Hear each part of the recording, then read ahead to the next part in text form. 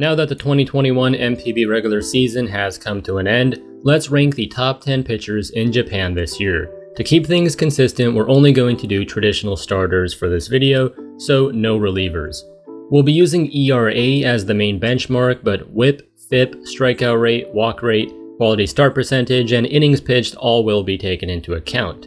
And no, wins and losses will not affect the rankings, but do keep in mind that it is still one of the most important stats in Japan.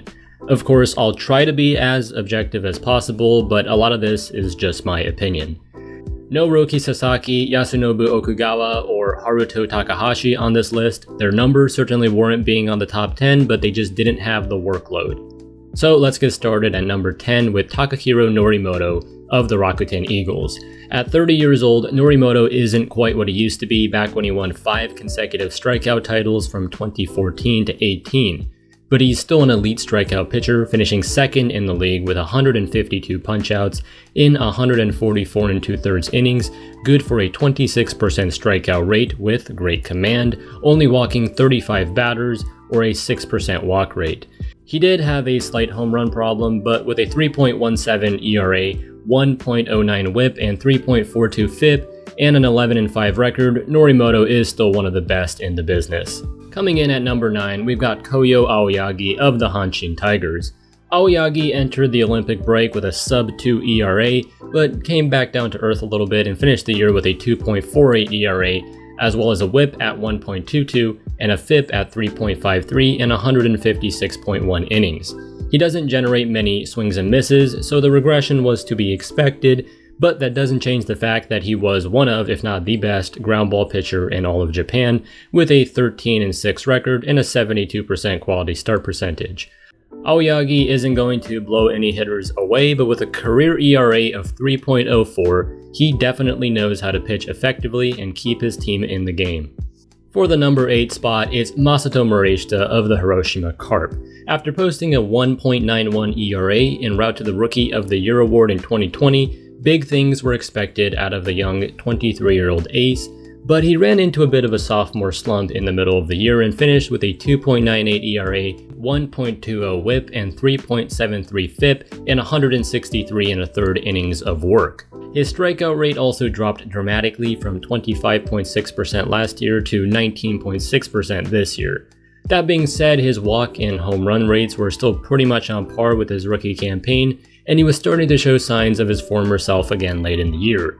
There was definitely some regression, so he'll have to be at number 8 on the list, but he was still second in the league in innings pitched, third in the league in strikeouts, and had a fantastic 79% quality start percentage. He also won the gold medal game for Samurai Japan. At number 7 is going to be Yudai Ono of the Chunichi Dragons. The reigning Sawamura Award winner wasn't quite what he was last year when he posted a 1.82 ERA, but he was still one of the best in the league this season with a 2.95 ERA, 1.03 whip, and 3.13 FIP in 143 and a third innings. He posted a quality start in 72.7% of his games, and he was fourth in the league with 118 punchouts. Thanks to his impeccable command, he was also first in the Central League among qualified starters in strikeout to walk ratio. Coming in at number 6, we've got rookie Hiromi Ito of the Nippon Ham Fighters. At just 23 years old, Ito quickly established himself as one of the best arms in Japan, finishing the year with a 2.90 ERA, 1.22 whip, and 3.09 FIP in 146 innings. 74% of his starts were quality, and he finished third in the league with 141 punchouts, good for 8.7 Ks per 9 or a 23.1% K rate. He has slight command issues at times, but if he manages to limit the walks a little bit, he should climb up even higher on the list next year. Next up at number 5, it's Ito's teammate Naoyuki Uwasawa. The 27 year old has quietly been one of the best pitchers in Japan for a number of years now, posting an ERA in the low to mid threes in all but one year going back to 2014. But he just got to another level this year with a 12 6 record, 2.81 ERA, 1.04 whip, and a 3.04 FIP in 160 and a third innings with 7.6 strikeouts per 9 innings and a quality start percentage at 87.5. His home run prevention has always been superb, but he really was among the best in Japan at keeping the ball in the park this year, only surrendering 0.4 homers per 9 innings. Uwasawa may not be the flashiest pitcher out there, but he consistently gets the job done and absolutely deserves the recognition.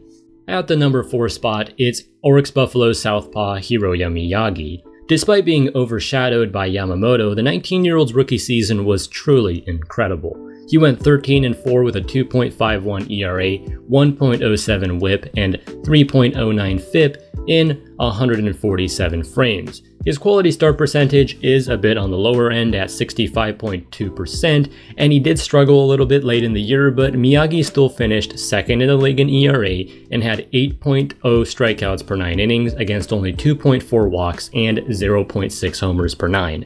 The sky is the limit for this kid. Let's see where it takes him next year. Next up at number 3, it's Nick Martinez of the SoftBank Hawks. After a solid debut season with the Fighters back in 2018, Martinez missed all of 2019, and he really struggled in the shortened 2020 season, so the Hawks weren't really sure what they were getting when they signed the 30 year old as a replacement for Matt Moore this past offseason. But he has exceeded expectations and then some. In 140 and two thirds innings, Martinez managed a 1.60 ERA, 1.04 whip, and a 2.63 FIP.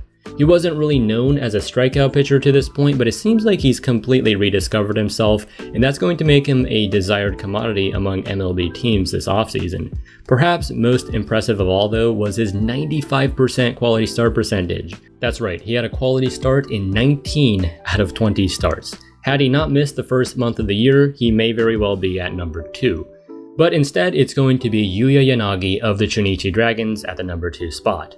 Yanagi was always a very good pitcher, but here in his age 27 season, he has come out of absolutely nowhere to become a true ace. In a league best 172 innings pitched, Yanagi posted a 2.20 ERA, 1.01 whip, and 2.75 FIP with 76.9% of his starts being quality. He had an excellent strikeout rate of 24.9%, leading the league in strikeouts by a huge margin with 168. He fell just a couple wins shy of the Triple Crown, but he was such a workhorse all year long, even tossing two complete game shutouts, and there's no doubt that his stock has just skyrocketed this year to an elite caliber pitcher. Before getting to the number one position, honorable mentions go out to Tomoyuki Sugano, Masashi Ito, Daichi Osera, Masahiro Tanaka, Shota Imanaga, and Takumi Akiyama, among many others. They all had great years, but there's just not enough room on this list to include all of them. And that takes us to the number one spot. Who else but Yoshinobu Yamamoto of the Oryx Buffaloes? Yamamoto is the ace of Japan at this point and is not particularly close. He was already amazing coming into the year, but he's really distanced himself from the rest of the pack with an absolutely historic season. In 193 and two thirds innings pitched, which is already insane in just 26 starts, Yamamoto went 18 and 5 with a 1.39 ERA, 0.85 whip, and a 2.10 FIP with 206 strikeouts en route to the Triple Crown. He had 54 more strikeouts than the next closest pitcher in the Pacific League, and he also threw 20 more innings than the next closest pitcher. Of course, his strikeout and walk ratios are absolutely elite, with a 28% strikeout rate against the minuscule 5.4% walk rate, and he only gave up 7 homers all year. Not only that, but Yamamoto also threw 6 complete games, including 4 shutouts, had a quality start percentage of 88%, and finished the year on a 17 game undefeated streak. Oh, and just a few days before the recording of this video, he threw another complete game shutout in his first career playoff game. Yamamoto is just a swing and miss machine, and his 2021 campaign will go down as one of the greatest of all time. We haven't seen dominance like this since Yu Darvish and Masahiro Tanaka were in their primes. Well, that just about does it. It's exciting to have so much pitching talent, especially young pitching talent, in NPB right now. Let me know if you agree with this top 10, and if not, comment your list below. Special thanks to my patrons, Isaac Santos, Chris J, Skylar, Jonathan Greenberg, Hinosato Yaku, Poker Pack Rat, Corgi Racing, Anthony Pang, Jake Royce, Marcus Hill, Yua Bird, Ryan Fox, and Jeff W. If you'd like to become a patron yourself, please check out patreon.com slash baseballcosmo. Thanks for watching, and please subscribe for more NPB content in English.